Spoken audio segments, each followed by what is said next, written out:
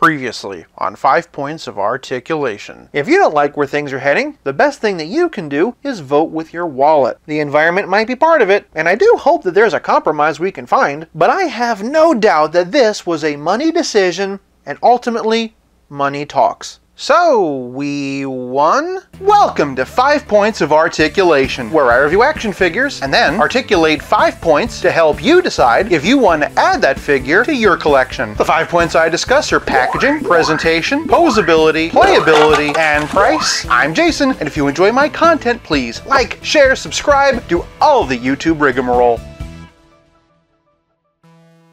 Today, we're taking a look at the Spider-Man Across the Spider-Verse Basic Assortment by Hasbro. Last time we were talking about one of these figures, we were dealing with this, and let's just say I didn't have the kindest words to say. I mean, it could be in there, or it could be a voodoo doll made out of toenails. Guess you won't know until you buy it. I did, however, have some pretty constructive criticism too. What baffles me about this is that they already had an open box design for their deluxe figures. Granted, there's a small amount of plastic, but they couldn't figure out a workaround for that. This $90 pack of figures managed to solve the problem with twine. After months of warming the pegs, these all went on clearance and were replaced by these. And at my local stores, they can't keep them in stock stock. I'm sure the Spider-Man brand has something to do with it, but I also believe that seeing what you're getting has a lot to do with it as well. This, of course, is for Spider-Man Across the Spider-Verse, and includes the main characters of Miles, Gwen, and Spider-Man 2099. And wait a minute, what about this guy? Inspired by Into the Spider-Verse? So Peter B. Parker isn't going to be in this one? That's kind of a bummer. Still, it does make way for Spider-Man 2099. I can see how the risk of theft could make this not so great for a Marvel Legends, but for a kid's toy it's absolutely perfect, and it gives me a lot of hope that Hasbro has the potential to course correct. For packaging, I'm giving Across the Spider-Verse one whole point. Red, red twine. Moving on to presentation, the figures range from 5 and 3 three quarters to six and a half. Near as I can tell, these are mostly reused from the Into the Spider-Verse wave. Peter and Gwen are the exact same, but Miles is a little bit different. The arms and legs are the same, but the torso is a new sculpt. And therein lies the problem. The original torso had sculpted webbing on the upper chest, so the webbing on the head made sense. Here, it just kind of reminds me of the old Ralph Bakshi Spider-Man animated series. What baffles me the most is just how badly scaled these are. Peter is basically the same size as Miles, miles, when really he should be closer to the size of Spider-Man 2099. I actually think a lot of it has to do with the packaging. The Into the Spider-Verse wave came on blister cards, and I can't help but wonder if they just want them all to fit in the same bubble. The open box gives it a bit more room to breathe. That said, of the original three, Peter is definitely the best sculpted. Don't get me wrong, Gwen looks pretty good, and between her torso, her arms, and her sneakers, she definitely has a lot more painted detail, but Peter's proportions simply look a lot closer to what we saw in the film. Actually, upon closer inspection, Gwen's shoes have been resculpted.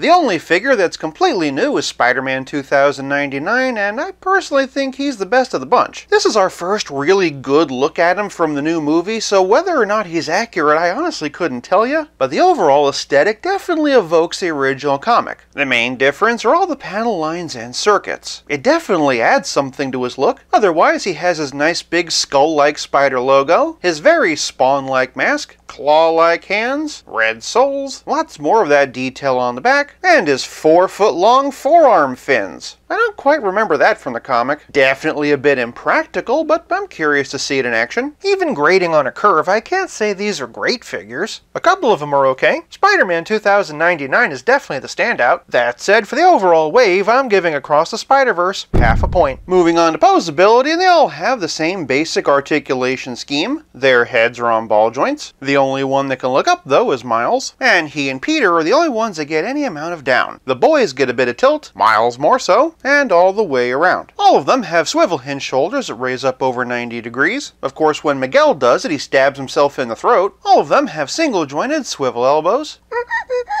and T-style swivel hips. While I appreciate the articulation in the arms, some bendable knees and especially ankles would have really gone a long way to help. Even the Hall of Armor Iron Man had that and he was for kids too. So for posability, I'm giving Across the Spider-Verse half a point. Moving on to playability and each figure comes with a snap-on webbing or energy effect. Miles has his signature Venom Strike. Nice bit of electric detail in there. Gwen comes with whatever this is. I want to say marshmallow fluff? Peter B. Parker comes with a stream of spaghetti webbing. Why, it almost looks like the ending of The Amazing Spider-Man 2. You know the scene.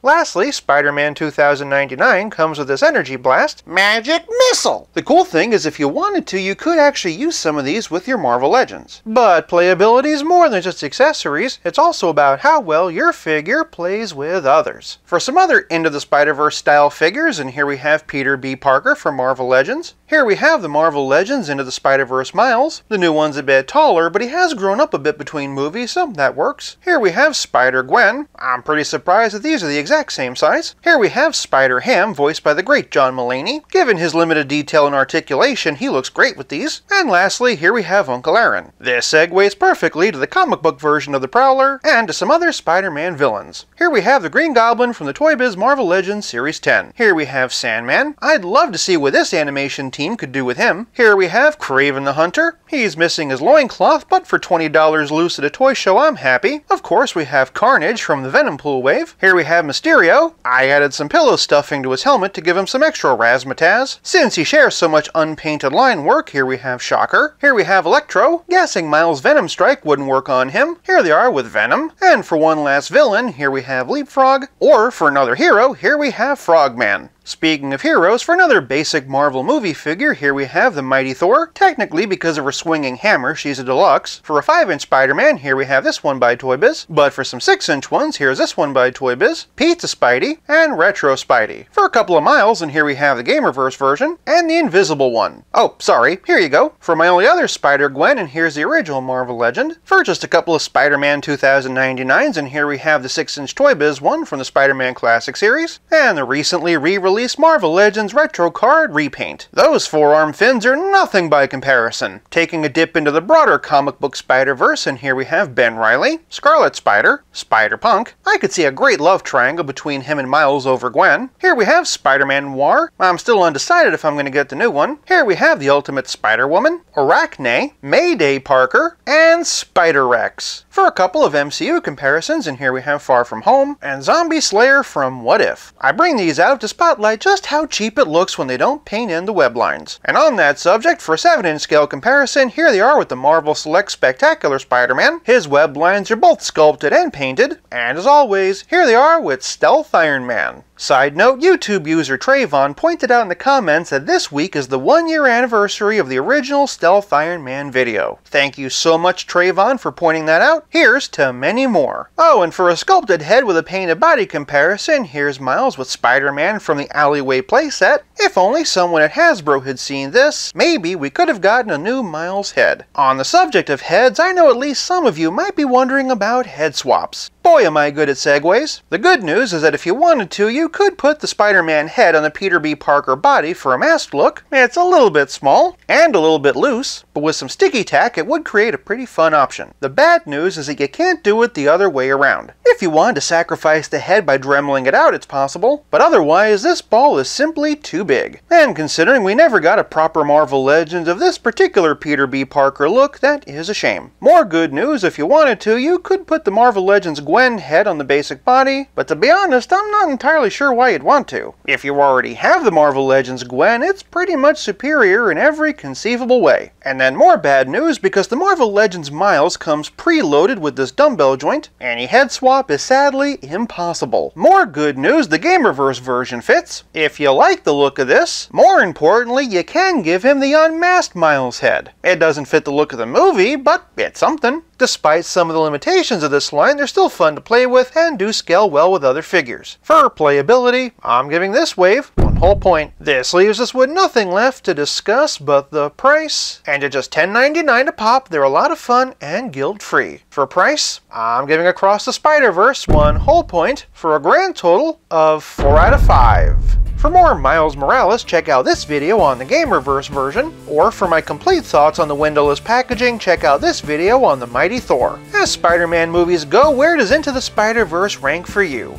Sound off in the comments below. Thank you so much for watching. I'll be back again real soon, but until then, play nice and have fun.